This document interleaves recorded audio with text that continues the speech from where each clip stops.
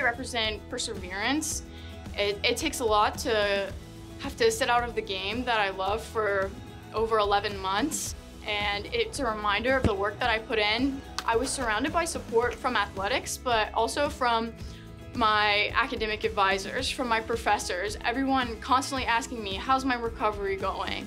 And just strangers on campus holding the door open for me, asking me if they can help carry my books. So feeling that support was amazing. I'm also really proud when I look at them because it just shows me the path that I've come at UNCG. UNC Greensboro, find your way here.